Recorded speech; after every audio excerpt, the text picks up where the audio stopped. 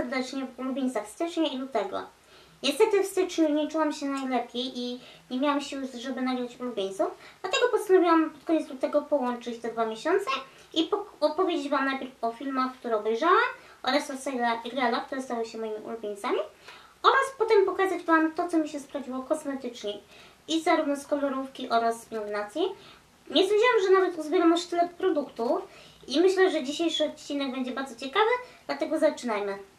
Pierwszym filmem, który chciałabym Wam dzisiaj polecić jest film Niemomowy z 2015 roku. Młoda wdowa, która po śmierci swojego wspólnego męża postanawia napisać jego biografię, zmaga się z wspomnieniami i też z bólem po stracie ukochanego. Nie jest w stanie tak naprawdę napisać nic dobrego, pomimo tego, że jest bardzo dobrą pisarką.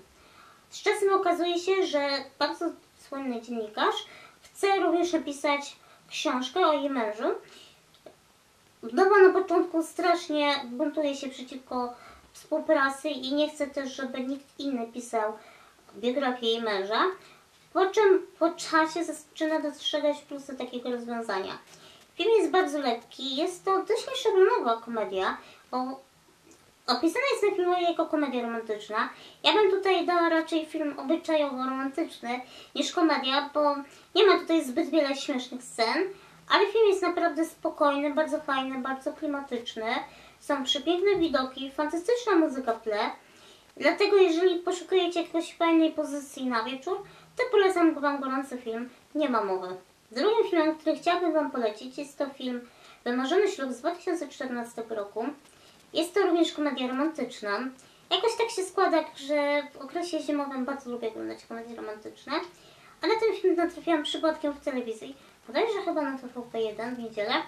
Jest to historia dziewczyny, która jest zmuszona nagle przełożyć swój ślub i zorganizować go w przeciągu trzech tygodni. Zawsze marzyła o ślubie w czerwcu. Niestety okoliczności nie sprzyjają jej i musi wziąć ślub dużo wcześniej.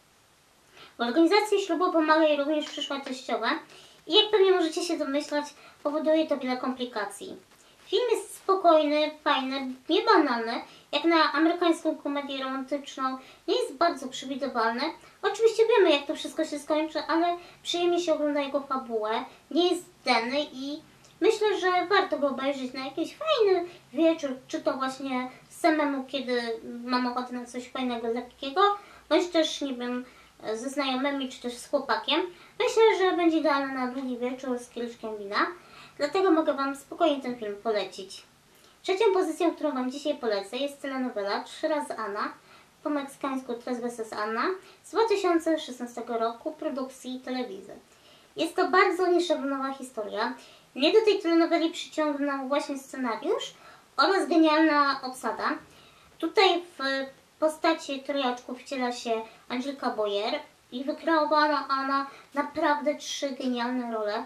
Każda z dziewczyn jest zupełnie inna i ma swój charakter i zupełnie inną grę aktorską. Dlatego tutaj wielki szacunek w stronę pani Boyer, bo naprawdę według mnie poradziła sobie znakomicie z tym zadaniem. Dwie główne role męskie przypadły Dawidowi Zapedzie oraz Sebastianowi Ruli. To są również fantastyczni meksykańscy aktorzy. I historia jest naprawdę oryginalna. Chodzi tutaj o to, że były trojaczki, które zostały rozdzielone, kiedy były dziećmi. Niestety jedna ze sióstr zaginęła i tylko najbliższa rodzina wierzy w to, że ona żyje. Wszyscy inni uznali ją za zmarłą. Każda z sióstr ma swój niepowtarzalny charakter. Ta nowela jest bardzo zakręcona, wielowątkowa, nie skupia się tylko i wyłącznie na parze głównych bohaterów. Tak naprawdę obserwujemy losy wielu, wielu par, wielu bohaterów. Można bardzo szybko wkręcić się w świat i też ta, ta nowela ma w sobie bardzo duże tempo. Tutaj praktycznie w każdym odcinku coś się dzieje. Może to też spowodowane jest tym, że na pierwszy plan wyciągnięte jest aż tyle wątków bo różnych bohaterów, a nie tylko na przykład dwóch czy trzech osób, co powoduje to, że o, na kolejny odcinek naprawdę czekamy z utęsknieniem, bo nie wiemy co się zdarzy. W dodatku jest ona dość nieprzewidywalna jak na meksykańskie telenowele. Mnie na przykład ujęła, bardzo chętnie ją oglądam i muszę Wam się przyznać, że wiem nawet jak się zakończy, bo kiedy dowiedziałam się o, właśnie o jej premierze w telewizji i obejrzałam pierwsze odcinki, Przejrzałam sobie ją trochę po meksykańsku, w szczególności te najważniejsze momenty i bardzo podoba mi się finał, bardzo podoba mi się to, jak cała historia jest prowadzona przez wszystkie odcinki. Dlatego jeżeli ją oglądacie, to uwierzcie mi, nie zawiedziecie się, będzie coraz ciekawiej. W styczniu i w lutym moim ulubieńcem był serial Kości. Co prawda nie jest to nowy ulubieniec, bo jest to jeden z moich ulubionych serialów właśnie z oceanu. Jednak nie widziałam wszystkich odcinków, ponieważ oglądałam go od samego początku, kiedy zagościł w ramówce Polsatu. Nie wiedziałam jednak, że został od 11 sezonu przeniesiony na AXN i dowiedziałam się o tym dość niedawno, przez co byłam trochę do tyłu z odcinkami. Postanowiłam jednak, że obejrzę sobie od początku cały serial, bo niestety w telewizji Polsat był emitowany z ogromnymi przerwami w przeciągu naprawdę wielu lat. Dlatego stwierdziłam, że po prostu wolę sobie przypomnieć każdy odcinek i wkręcić się naprawdę w ten świat, w bohaterów i wiedzieć, co tak się naprawdę działo przez cały serial. Bo kiedy oglądamy, nie wiem, po 10 czy po 15 odcinków raz na pół roku albo na rok, no to trudno tak naprawdę o cały klimat serialu. Teraz w Stanach leci 12 sezon, który jest zapowiadany jako ostatni, krótszy i ostatni. Mam nadzieję, że nie dojdzie do zakończenia serialu, bo naprawdę, naprawdę go uwielbiam. W tym momencie oglądam sezon 10, a nie widziałam od sezonu 11, więc już niedługo czekają mnie nowe odcinki. I sprawia mi to ogromną radość, kiedy mogę oglądać właśnie mój ulubiony serial, który stał się moim ulubieńcem właśnie w tych miesiącach. Przejdźmy już może do ulubieńców kosmetycznych. Zacznę od pielęgnacji. Moim pierwszym ulubieńcem jest krem z ziai. Jest to z serii liście manuka. Krem mikrozłuszczający z kwasem migdałowym na noc. Od jakiegoś czasu używam tego kremu właśnie na noc. On ma zapach mentolu, czyli mentowy. Ja akurat bardzo lubię zapach właśnie mięty czy mentolu w kosmetykach. Mi on zupełnie nie przeszkadza. Jeżeli tutaj ktoś nie lubi tego zapachu, to niestety nie sprawdzi mu się. Jak dla mnie ten krem to naprawdę bomba. Jest rewelacyjny, jest leciutki, szybko się płania. Naprawdę pomaga zmniejszyć matowienie skóry. W dodatku jest mikrozłuszczający i zauważyłam, że mam dużo mniej suchych skórek na twarzy. Fantastycznie moja cera na niego zareagowała. Ja mam dziwną cerę, która uwielbia kwasy, uwielbia alkohole i nie za bardzo przypada za naturalną pielęgnacją. Dlatego ten krem bardzo mi się sprawdził. I jeżeli szukacie właśnie czegoś lekkiego na noc, ale co jest zarazem bardzo dobre dla skóry i przeszkadza Wam zapach mentolu, to naprawdę mogę Wam gorąco go polecić, bo on jest na nie dość nawilżający, to jeszcze ma kwas i tutaj właśnie ma sprawiać, że nasza cera będzie czysta i świeża, więc mogę tutaj zupełnie podpisać się pod obietnicami producenta. Jestem bardzo zadowolona z tego produktu i myślę, że na stałe zagości w mojej pielęgnacji. Drugim moim ulubieńcem jest krem pod oczy, również z ziai. I jest to krem maska do skóry wokół oczu z ceramidami. Ja ten produkt kupiłam chyba w grudniu, czy pod koniec grudnia, ale zaczęłam, a może w listopadzie, nie pamiętam, ale zaczęłam go używać właśnie przełom grudnia i stycznia. Sprawdza się rewelacyjnie. Uwielbiam sobie go nałożyć na przykład raz na 2-3 dni pod, właśnie tutaj w okolicy koło oczu. Taką troszkę grubszą warstwą i sprawdza się rewelacyjnie. Ta skóra jest piękna, wypoczęta, nawilżona, gładziutka. Ja nie mam co prawda dużych problemów z właśnie tutaj okolicami oczu, ale czasami czuję zmęczenie, czuję pieczenie, ściągnięcie, w szczególności kiedy mało śpię i ten krem sprawdza mi się naprawdę rewelacyjnie. Nie będę ukrywać, podpatrzyłam go u Maxineczki w ulubieńcach gdzieś w połowie roku i bardzo długo się zbierałam, żeby kupić, ale miałam inne krem pod oczy. Ale teraz wiem, że na noc, raz na jakiś czas na pewno będę go nakładać. Nie jest to może krem, który nakładałabym codziennie, bo jest on trochę ciężki, ale stosuję go właśnie tak jak maseczkę do twarzy raz na 2-3 dni. Tak stosuję ten krem, jako po prostu maskę niezmywalną pod oczy i sprawdza się rewelacyjnie. Dlatego jeżeli szukacie czegoś dobrego, to gorąco Wam polecam. I jakoś w tych miesiącach właśnie moją pielęgnację zdominowała ziaja i jestem naprawdę z tego bardzo zadowolona, bo produkty są tanie i bardzo, bardzo dobrej jakości. Trzecim produktem pielęgnacyjnym, którego nie mam przy sobie, ale tutaj wstawię Wam zdjęcie, są maseczki z Garniera właśnie w płachcie. Jeżeli to źle wymawiam, to mnie poprawcie, ale nie wiem jak to się fachowo nazywa są naprawdę rewelacyjne. Ja do tej pory używałam takich maseczek ze Skin 79, ale w chwili obecnej są one właśnie dostępne czy to w Rossmanie, czy w Naturze. Jedną kupiłam w Naturze i za kilka dni otrzymałam drugą w boksie, właśnie w Glossy Boxie styczniowym i później już używałam nałogowo. Nie są może one najtańsze, bo jedna maseczka kosztuje chyba coś koło 5 czy 6 zł, jeżeli dobrze pamiętam. Ale ja je stosuję raz na tydzień, raz na, nie wiem, 10 dni i efekt jest naprawdę rewelacyjny. One mają fantastyczne uczucie chłodzenia, sprawiają, że nasza skóra jest taka nawilżona, taka mięciutka i widać, że to nawilżenie wchodzi w najgłębsze partie skóry, ponieważ mm, później skóra jest tak przyjemna, tak pięknie się zachowuje. Używałam zarówno i nawilżającej, i jak i łagodzącej, która przepięknie mi złagodziła wszystkie stany, gdzieś tam zapalne, jakieś końcówki, niedoskonałości i jestem z nich bardzo, bardzo zadowolona. Na pewno też bardzo często ich używać.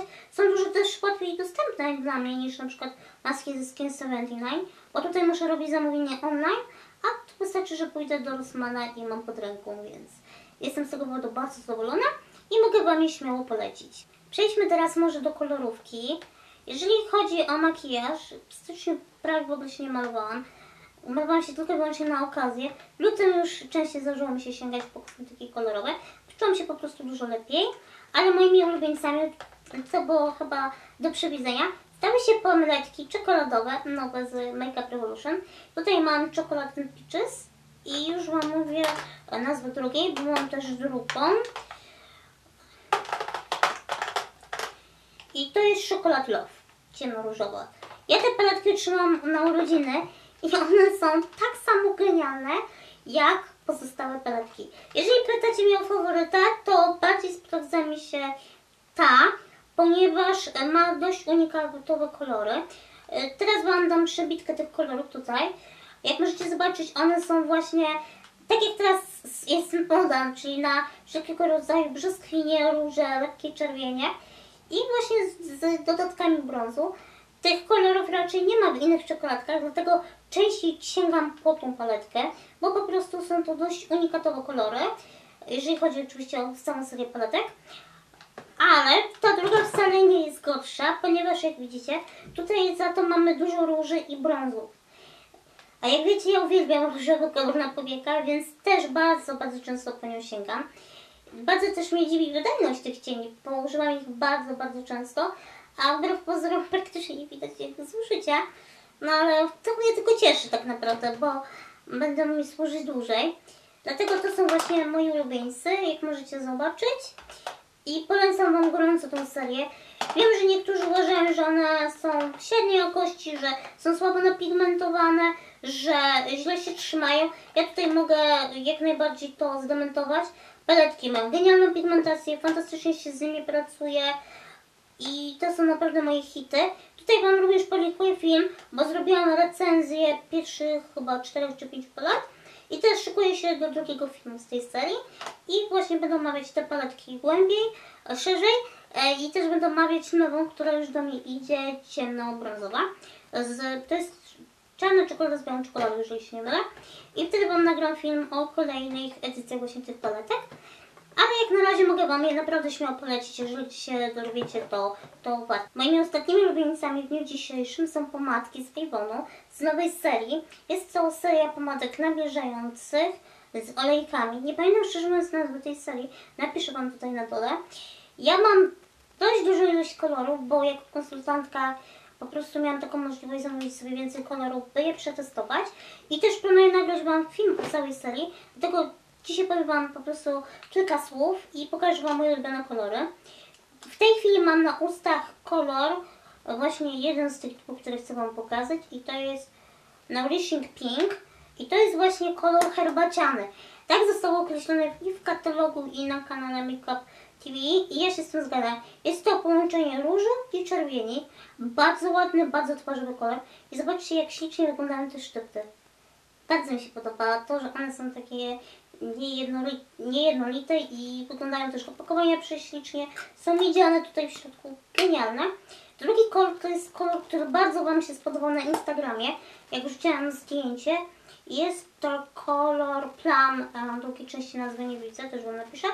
Ponieważ y, tutaj jest y, data napisana. Jest to prześliczny fiolet, którego bardzo ciężko dostać w innych pomadkach. ponieważ jest bardzo zimny, ale bardzo twarzowy. Nie jest to fiolet trupi, ale mimo wszystko nie jest to ciepły fiolet, którego bardzo nie lubię. A tutaj jest ten kolor naprawdę piękny i bardzo twarzowy. Tak jak wspominałam, wrzuciłam zdjęcie na, yy, na Instagram, to wiele dziewczyn się mnie pytało, co mam na ustach. I teraz daję Wam przybitki koloru. Bardzo, bardzo mi się podobają i na usta, i jak się zachowują, i to jak się je aplikuje, bo bardzo fajnie się je aplikuje, bardzo łatwo, nie potrzeba podnie konturówki, są bardzo nawilżające, bardzo komfortowe do noszenia. Wiadomo, że są nietrwałe, bo się wbijają i szybciej schodzą niż dostygające pomadki, ale uważam, że są godne polecenia. Kolor jest naprawdę świetny, ja mam 6 i myślę, że Wam właśnie je pokażę w osobnym filmie. To już by byli wszyscy moi ulubieńcy w przeciągu tych ostatnich dwóch miesięcy. A co Wam się ostatnio sprawdziło? Czy może macie jakieś produkty, które odkryliście i stały się Waszymi perukami? A może polecicie mi jakiś fajny film albo książkę?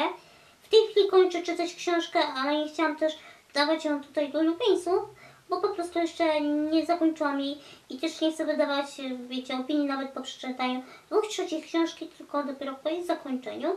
Dlatego myślę, że pozycja książkowa pojawi się już w marcu, o ile wszystko się prawidłowo ułoży. W tym momencie będę się z Wami żegnać. Dziękuję Wam za oglądanie dzisiejszego filmu. Zachęcam Was do lajkowania, komentowania oraz subskrybowania. W kolejnym filmie widzimy się już jutro. Trzymajcie się, cześć!